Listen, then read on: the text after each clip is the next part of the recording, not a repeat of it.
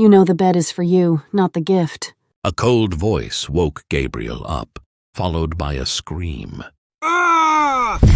He fell from the hammock, and as he lay there, he opened his eyes to find Aina standing next to him, her head looking down at him.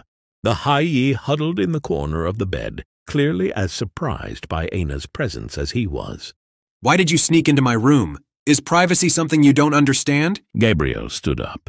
I wanted to see what you did with my gift, and I have to say, I'm disappointed. But let's drop the small talk. You slept through the resupplying. Your armor arrived. Aina stood in the doorway, waiting for him to follow. Gabriel was still tired. He had no choice but to obey, so he glanced back at the Hai one last time before leaving. I have a question. Why couldn't I understand the insects? My translator worked fine with everyone else. I knew you would ask that someday. I deleted their language, thinking it would limit your mercy. But my concerns were unfounded. You showed no mercy at all. I can still hear their screams echoing through my ship when I think about it. Aina showed no signs of emotion, hinting that the screams didn't haunt her. On the contrary, Gabriel suspected that she was delighted by them. That ended the conversation until they reached a small hall filled with all sorts of weapons and equipment. Aina began speaking. This is the cargo hold. I hope you remember the way down here. Then she fell silent. Gabriel was trying to come up with a response to her, one that simply stated a fact, when Chip walked in behind them. Are you excited, Gabriel? I would kill for a power armor as good as this. I bet it costs a fortune. Aina cut her off before she could continue. You're late. Start calibrating the suit to his needs. You will pay if it doesn't fit on his next mission. Aina walked away, leaving them alone in storage. Chip watched her leave before speaking again. I know exactly what you're thinking right now. And yes, it has a forearm cannon. Chip led him to a box. Actually, I'm thinking about leaving. Aina said you'd pay if it didn't fit me, and I'm sure she didn't mean money. Gabriel wasn't just going to forget that Chip had put weaponized parasites inside him. I would probably suffer greatly, but she wouldn't hesitate to send you into combat without the armour. So please, just shut up and let me transform you into a god of war. Chip opened the box, revealing the armor. It was white and thicker than the plate armor he was used to, and it had no gaps for projectiles to pass through. Want to start with the helmet or boots? Let's do the helmet. Chip said, taking it off the rest of the armor and handing it to him. Gabriel put it on, activating it. A bunch of numbers lit up in front of his eyes. Chip grabbed his head and pointed at the top right indicator. This is your hazard indicator. It analyzes the suit and your surroundings and informs you when the suit is damaged or when you're surrounded by danger. Yellow means pay attention, and if you ever see anything in red, scream for help. Her finger moved to the top left corner. Communications is self explanatory, but look at the bottom left. This number is your kill count. I installed it myself. Gabriel was getting used to looking around with the helmet when Chip picked up his left leg and put it in the armor boots, repeating the same with his right foot. Comfortable? She didn't look up. It's a bit too tight. Gabriel admitted. He didn't want to be picky, but pain was not an option. Chip adjusted the size. Better? Yeah. The leg shouldn't be an issue. TB measured you very precisely. Chip was right. The armor fit him perfectly. Moving his legs around was a bit difficult, but doable. What the fuck? Chip looked up at him with a dead expression. The power unit is in the chest compartment. What just moved your leg? I I did. Gabriel stammered, afraid he had broken the armor. Is that bad? Don't scare me again. Not everybody is comfortable with you being an innate killing machine. Chip said, pointing at the rest of the armor. I won't carry the chest plate to you. Come here. Gabriel complied, feeling like he was wearing ski boots and a motorcycle helmet. He helped Chip lift the upper body armor onto him, and it snapped into place. He was holding his shoulder plates when the armor turned on with a rhythmic hum. The top right corner was blinking red, which scared him. Hey, Chip, is it supposed to blink red? Gabriel asked. It thinks you lost both arms in combat, dummy. Finish putting on the armor and it'll stop. Chip chuckled, completely unaware of his ignorance and the fact that he had no way of knowing anything. They put on his arms until Chip held his left forearm before him. This is your arm cannon. It has one explosive bullet in it, so there's no reloading. Don't waste it. A precise shot with this beauty could penetrate the hull of a ship. She followed up with, How do you feel? I can't think of anything scarier to meet on the battlefield than the person I'm looking at. There was awe in her voice. I feel good, thanks. Gabriel replied, pleased with the upgrade but wanting to return to his room. He couldn't stop himself from thinking about the Hai he had left behind. Chip seemed to read his mind. The suit can stand on its own. Just go. She said, visibly frustrated that Gabriel wasn't as excited about the suit as she was. He was heading to his room when Tibby crossed his path. Happily surprised, he asked, Why did you choose the Hai in my room? Aina chose the hostage and made it clear that she didn't want you to know. I can't say more. Tibby responded. Gabriel begged, Come on, give me something to tell her. Can't talk about it. Just ask Aina if you want to know more. Tibby turned and entered a room, closing the door behind her. Gabriel considered talking to Aina for more information, but he knew she wouldn't tell him if she didn't want to. Besides, he would rather talk to anyone else but Aina. So, he walked to his room. When he entered, he saw the Hai freeze upon seeing him. Not wanting to frighten her, he mimicked her behavior. Their staring contest ended when she spoke. Did I do something wrong? Are you here to kill me? It suddenly struck him that he was still wearing his new armor suit. She couldn't recognize him and mistook him for another crew member. He slowly removed the helmet and showed his hands, saying, It's me. Please don't panic. They gave me a suit. He then focused on taking off the rest of the suit, clumsily dropping the helmet in the process. The loud bang it made as it hit the floor made the Hai flinch. But Gabriel didn't notice as he struggled with the suit. When he couldn't separate the two upper body plates, he turned to her and said, Two things. First, what should I call you? I'm sure the Hai isn't what you want to be called. Second, can you give me a hand? Zuski. She responded. My name is Zuski. As she walked up to him and touched his suit with two fingers, the suit fell off in pieces. Where do you come from? This suit's locking mechanism is standardized all around the galaxy. She questioned. Gabriel felt torn. Trust couldn't exist without honesty, but the existence of Earth was his last secret. You don't have to answer if you don't want to, She hesitated. especially because I am your gift. Gabriel replied firmly. You are not a gift. Objects are gifts. You are a person. Why can't anyone understand that people aren't things? Gabriel was infuriated by the casual way everybody spoke about slavery. I'm sorry. I'll try to do better. Zuski said, kneeling on the floor. Gabriel's initial anger melted away as he saw her. How much had she suffered to be completely broken? He helped her up, trying to express his feelings.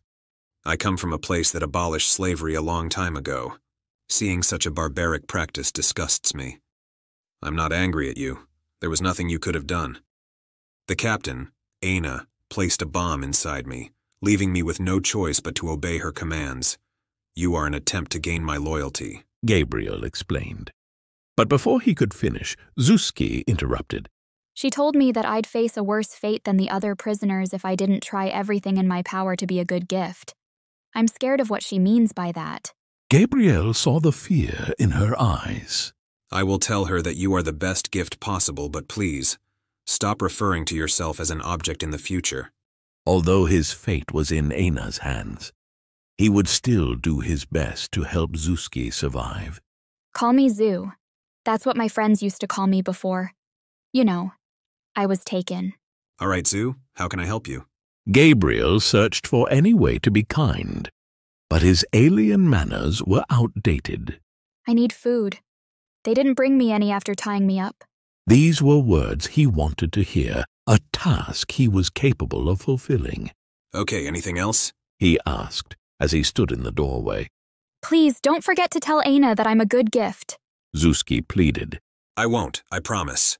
Gabriel despised how Aina scared people.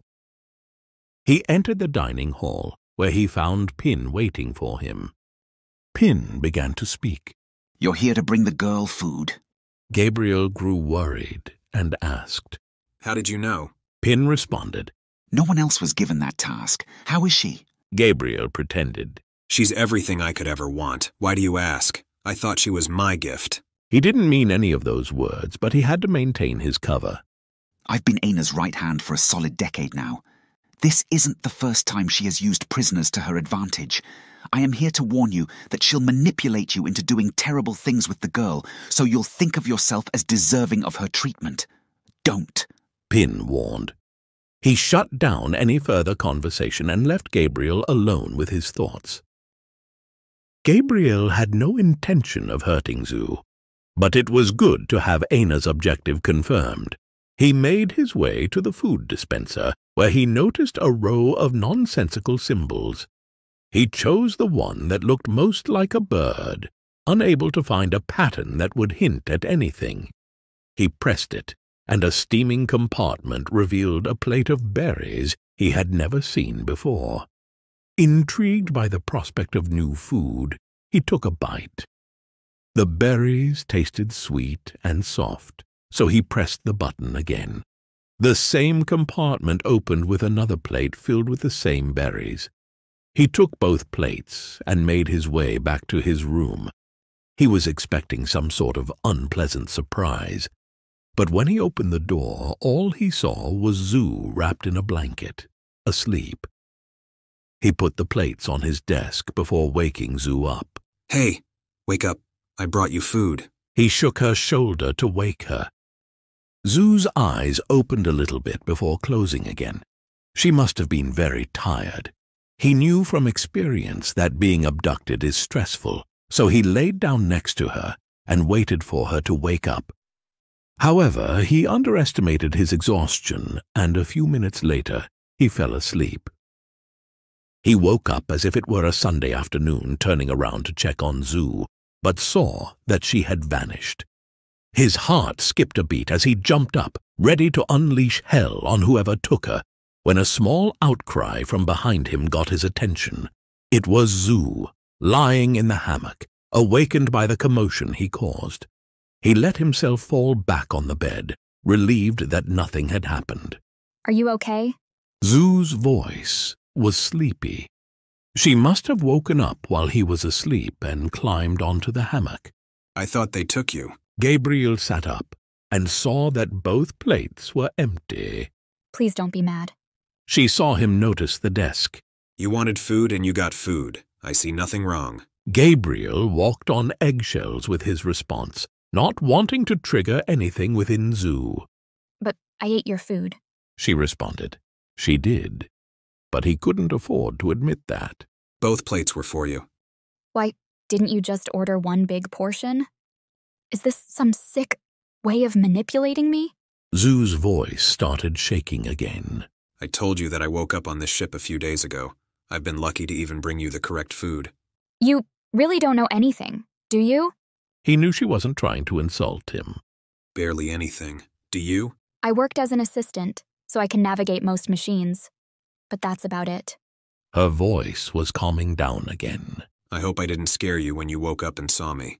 He recognized that going to sleep next to her was definitely an invasion of her privacy. It was a kind surprise. I'm only in the hammock because I didn't want to wake you. Gabriel just laid there, unable to figure out an appropriate response, when he saw Zu's hand reaching down for him. He took her hand. It felt warm, soft, and was covered with feathers. This was the first act of kindness he had felt since he woke up.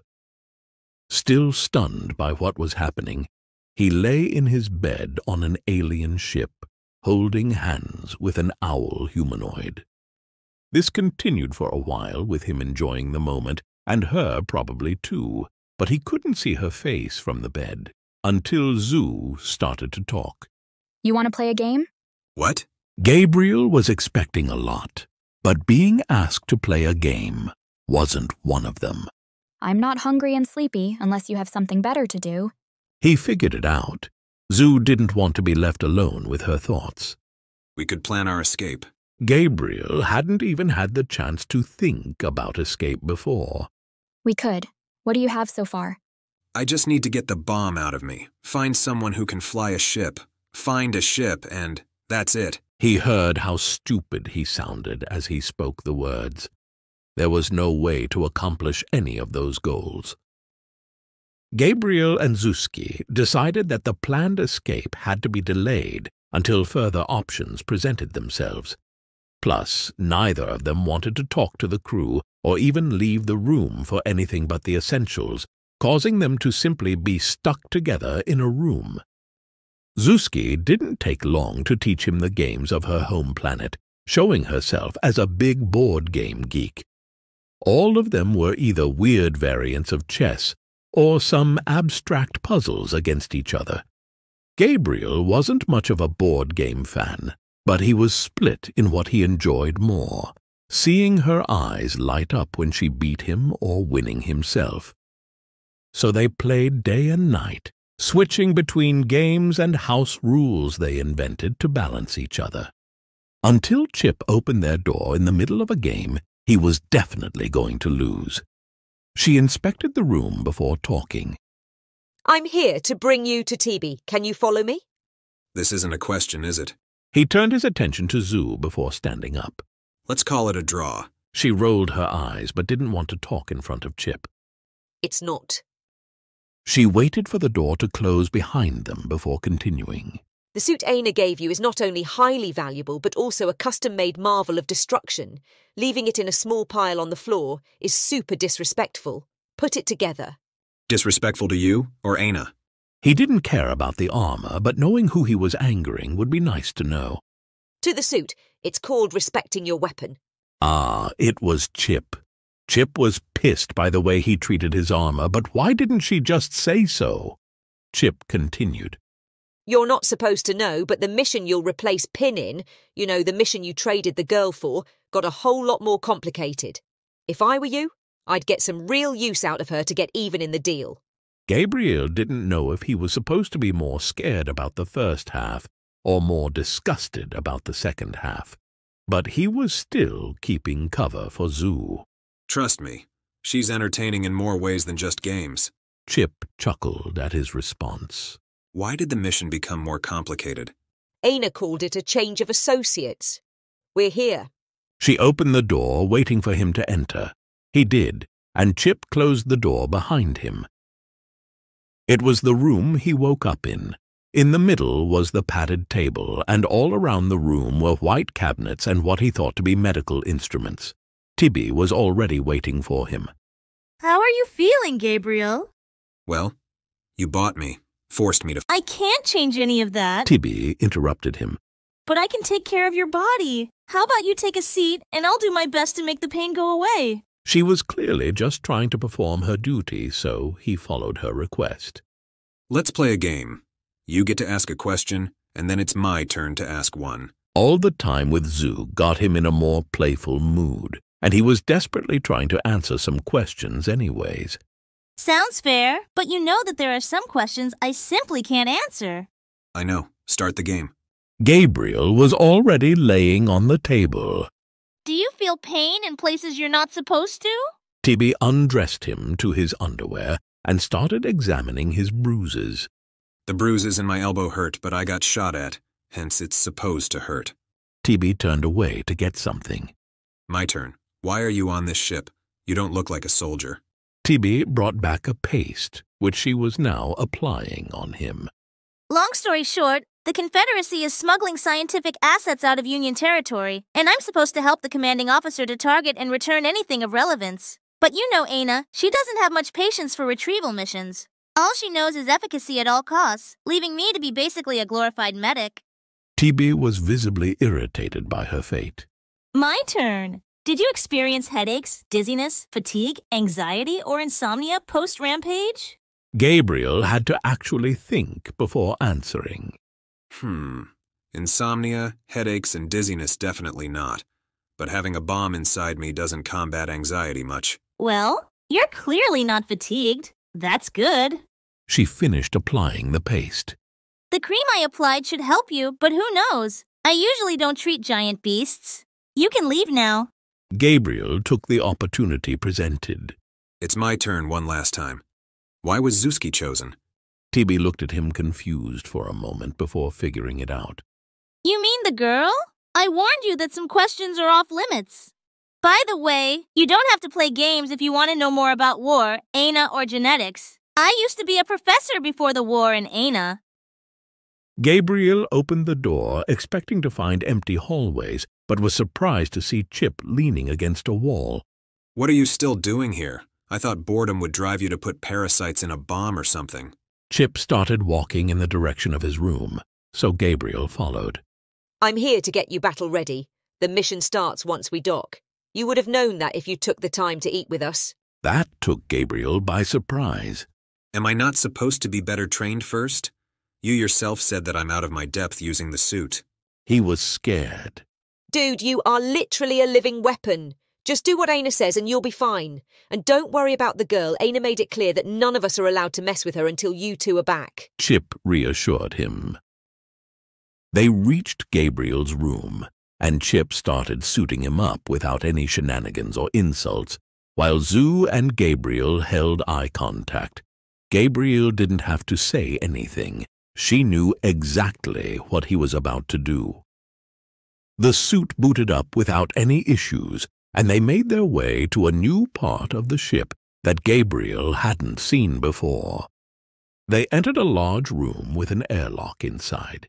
Pin and Aina were already engrossed in a conversation, but they stopped when Gabriel joined them. Aina started. Did Chip brief you? She said I would be fine if I followed your lead, so, yeah. Gabriel replied uncertainly. Sounds like she did not. We are meeting with a clan of purists who are prejudiced against modified beings, so keep the helmet on. You don't need to argue about whether you are truly modified or not. They won't believe it. Aina explained. Gabriel was already preoccupied with the thought of encountering space racists when Aina continued. They aren't my favorite mercenaries, but they will do just fine for our assault on the gate. Gabriel shifted his attention back to the conversation. Why do you need me or Pin for that? His gaze fell upon the injured Skeeks. Mercenary business has become unreliable since the war began. You are my bodyguard. I want you to listen very carefully. Do not start a fight. Your suit will protect you from small arms fire, but it won't save you from the bomb once I die. Aina instructed. Understood. Gabriel acknowledged, trying to strike a menacing pose to convey his readiness to do whatever was necessary. Let's go then. Aina walked into the airlock and Gabriel followed, with the lock closing behind them.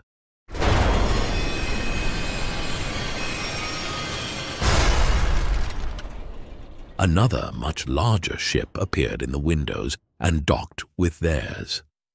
Aina sat down on a box and leaned against a wall. This takes some time outside of combat, so you might want to get comfortable. She advised. Gabriel didn't particularly look forward to spending quality time with Aina, but he was afraid that she would consider their deal unfinished if he didn't follow her commands. So he sat down opposite her. Aina took this as an invitation to talk. How is she? She asked. The Hai? She's worth me being here. Why did you choose her to give to me?